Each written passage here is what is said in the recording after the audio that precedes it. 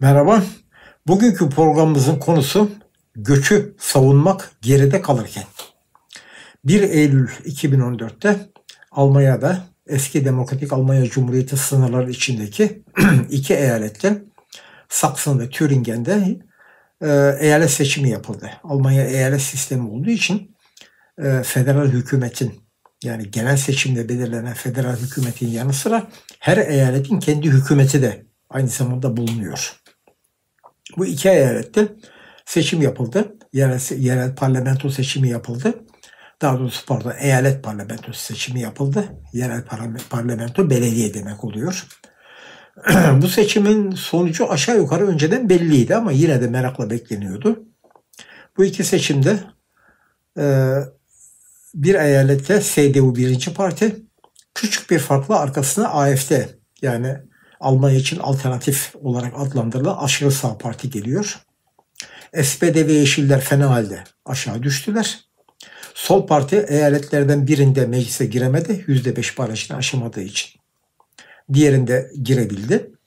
Buna karşılık sol partiden kopan ve Zara Wagenknecht e, ittifakı Bündnislara Wagenknecht olarak adlandırılan parti daha kurulalı yani 6 ay olmadı bile girdiği ilk seçimler bunlar iki rakamlı sayılara ulaştı. Yani yüzde on küsurun üzerine çıktı.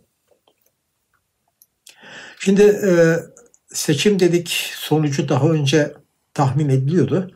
Çünkü Almanya'da bütün ülkelerde olduğu gibi seçim öncesinde tahminler yapılır ve bu tahminler yani büyük oynama göstermez sonuca göre. Hani Türkiye'deki gibi değildir durum yani. Değişik araştırma şirketleri vardır. Hepsinin verdiği rakamlar işte aşağı yukarı birbirine yakındır. Tabii ki tam rakam bilmek bir hayli zor. Fakat yani diyelim ki bir partinin alacağı yüzde on ise birisi yüzde otuz, öteki yüzde beş göstermez. İşte yüzde on yedi, yüzde on dört o civarda gösterirler. Şimdi görünen nokta AFD'nin aşırı sağ bir partinin her iki eyalette de önemli oranda oy toplaması, birinde CDU'nun biraz önünde, Hristiyan Demokratların biraz önünde birinci parti olması, ikincisinde ise kısa küçük bir farkla ikinci parti durumda bulunması. Gerçi seçimden önce bütün partiler AFD ne oyu alırsa alsın biz onlarla koalisyon yapmayız açıklaması yaptılar. Tabi biliyorsunuz seçimden önce yapılan açıklamayla seçimden sonra yapılan her zaman birbirine uymayabilir. Ama bugüne kadar yapılan açıklama böyle. Göründüğü kadarıyla eğer gerçekten dedikleri gibi yaparlarsa Hristiyan demokratlar o zaman e, bütün ısrara Wagenknecht'te yani sol bir partiyle ittifak yapacaklar. AFD yerine onlarla yaparız daha iyi diye söylediler de aynı zamanda. Şimdi burada yıllardan beri süre gelen bir durumun değiştiğini görüyoruz. Batı Avrupa ülkelerinde özellikle de Almanya'da yıllardan beri sol güçler bunu sosyalistler anlamında söylüyorum. Sol güçler e, göçü ülkeye göçü savunurdu. Ülkeye göçü savun e, kısıtlanmasına karşı çıkardı. İltica hakkının kısıtlanmasına karşı çıkardı. Sağ tarafta devamlı olarak hem göçün sınırlanmasına karşı çıkardı hem iltica hakkının kısıtlanmasına taraftar olurdu. Yani sağ taraf şeydi e, ters söyledim yani göçün e, göçün sınırlanmasını isterdi.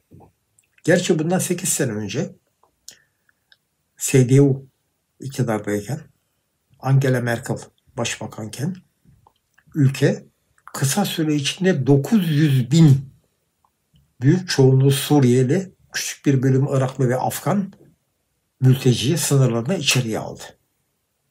Bundan dolayı mesela Angela Merkel çok eleştirildi ama o dönem Almanya İşverenler Birliği bile böyle bir göç Almanya'nın yararınadır. Bize lazım bu göç diye açıklama yapmıştı. Şimdi diyeceksiniz e ne oldu da kardeşim 8 yılda ne değişti? Bütün partiler yani göç konusunda şeyler hani böyle gitmez bu iş. Göçün sınırlanması gerek, göçün kesilmesi gerek konusunda büyük oranda hem fikirler. Sol parti pek böyle düşünmüyor ama yani onda da savunan fazla insan yok. Bundeswehr'a Wagner zaten açık olarak şey söylüyor. Almanya'ya göç artık durdurulmalıdır. Mesele şuradan geliyor. Şimdi Almanya hala kalifiye elemana ihtiyaç duyuyor. Özellikle sağlık elemanlarına. Ve değişik ülkelerden Türkiye dahil çok sayıda doktor, sağlık elemanı Almanya'ya geliyor. Almanya'da bunların oturma ve çalışma izni alması için mülteciliğe başvurmaları gerekmiyor. Almanya şakkadak veriyor. Oturma ve çalışma iznini. Sadece bir dönem e, işte Türkiye'deki veya başka ülkelerdeki tıp eğitimi Almanya ile eşdeğer görülmediği için biraz daha staj yapmaları, birazcık daha okumaları gerekiyor. Hepsi o kadar. Onun dışında doğrudan doğruya iş hayatına giriyorlar. Buna karşılık daha düşük düzeydeki işlerde Almanya ağzına kadar dolmuş durumda.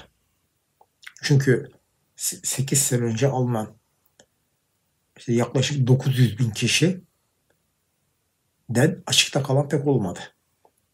Hemen hepsi ucuz iş gücü olarak değişik alanlarda istihdam edildiler. Çünkü Alman ekonomisinin ucuz iş gücüne fena halde ihtiyacı vardı o dönemde. Zaten o nedenle de Hristiyan demokratlar bunu yaptıkları gibi Almanya İşverenler Sendikası Başkanı da aynı zamanda belirgin olarak bu insanlara Almanya'nın ihtiyacı vardır. Alman ekonomisi ihtiyacı vardır dedi. Ama Almanya doldu. Bu nedenle şöyle bir durum ortaya çıkıyor. Sadece sağ partiler, aşırı sağ partiler, hatta sosyal demokratlar, liberal demokratlar, belli oranda sol partiler değil, eskiden beri ülkede var olan yaşayan göçmenler de yeni göçe karşı, karşılar. Çünkü yeni göç demek fiyatların daha fazla kırılması demek. Emek gücünün iyice ucuzlaması demek belirli alanlarda. Dolayısıyla yeni göç gelmesine bizzat yıllardan beri Almanya'da yaşayanlar da karşı. Böyle bir durum söz konusu. Anlayacağınız göçün savunulması, göçü kısıtlamaktan vazgeçilmesi olayı yıllardan beri Alman sosyalistlerinin işte önemli görüşlerinden bir tanesiydi. Bundan belirgin bir şekilde artık vazgeçmeye yöneliyorlar. Zaten bu iki eyaletteki seçimler de bunu gösteriyor.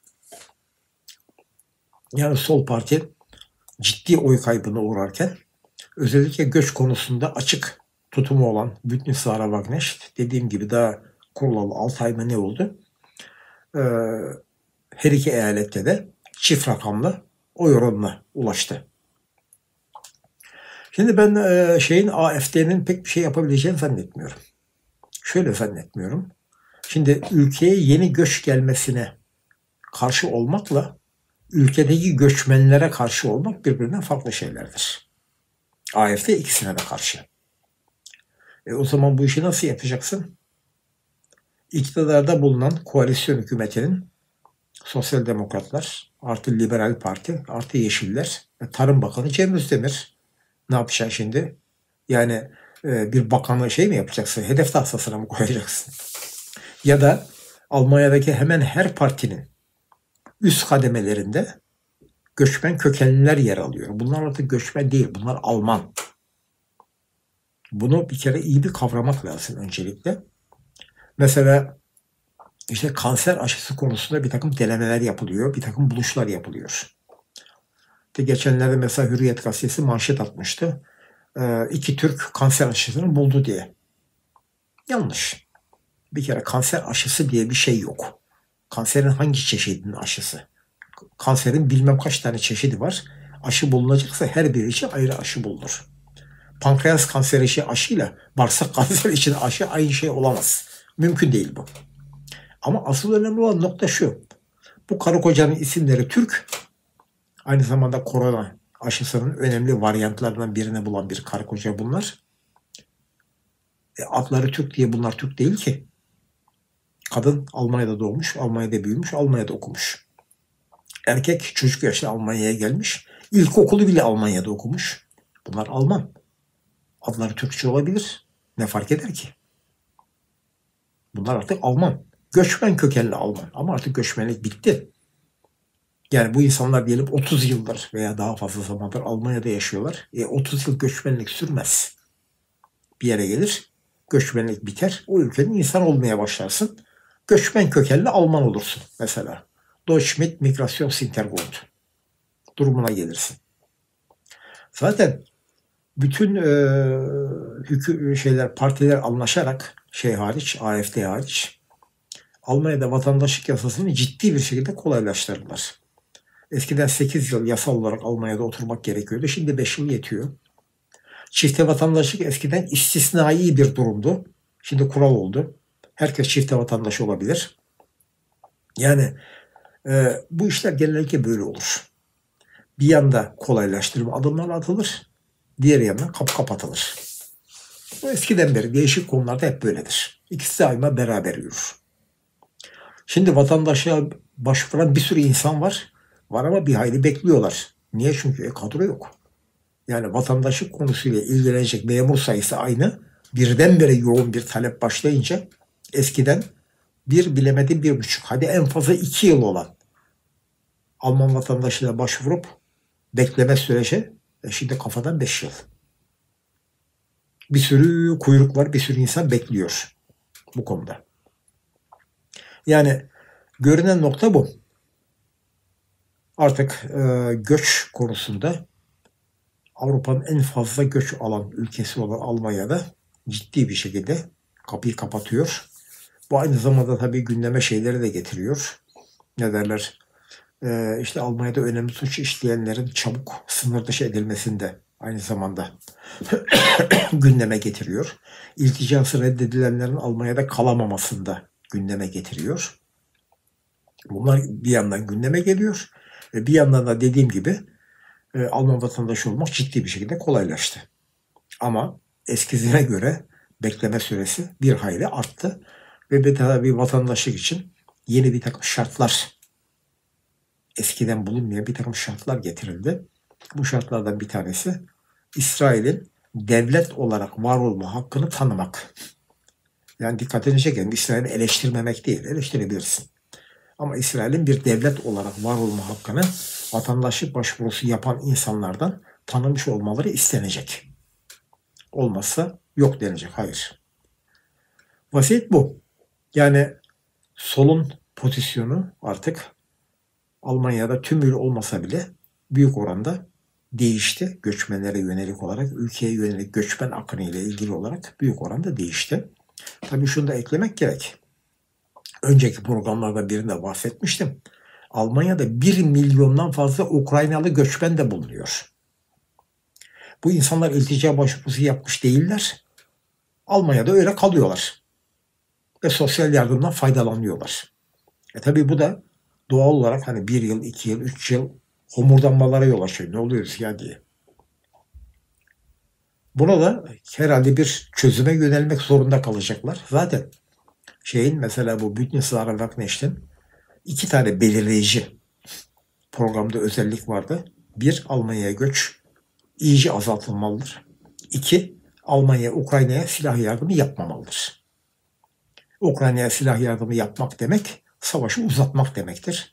Şimdiye kadar gördük işte. ABD'den sonra en fazla silahı Ukrayna'ya veren Almanya. E sonuç yok. Ortada doğru düz bir sonuç yok. Savaş sadece bol miktarda uzuyor. Bir de tabii şey var. Bunlar şeyi istediler. Koalisyon hükümeti Almanya'ya Amerikan orta menzilli füzelerinin gelecek yıl değil de ondan sonraki yıl yerleştirilmesine karar verdi. Bu kesim ona açık bir şekilde itiraz ediyor. Diyor ki gerekirse bu konuda halk oylaması isteyeceğiz. Bu çok önemli bir karardır. Halkın fikri sorulmalıdır. Ve halk oylaması yapılırsa büyük ihtimal red çıkar. Çünkü şöyle deniyor. Ya biz Amerika'nın peşine takılmak zorunda mıyız Rusya politikasında? Almanya kendi çizgisini savunmalıdır.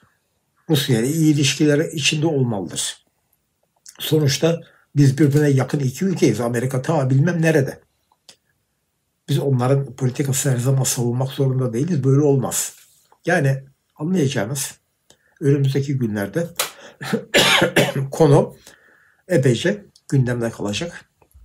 Fakat yani göç Almanya'daki göçmenler konusunda yıllardan beri yaşayan göçmenler konusunda çok böyle büyük değişiklikler olacağını zannetmiyorum. AFD önerecektir. E, diğerleri de bunu reddedecektir. Yani görünen şimdilik o. E, reddetmezlerse de yani tabandan gelen ciddi bir hareketle bunun reddedilmesi pekala sağlanabilir. Böyle diyelim. Evet, bugünkü program, bugünkü program burada bitiyor. Bir dahakinde buluşmak üzere. Şimdilik hoşçakalın.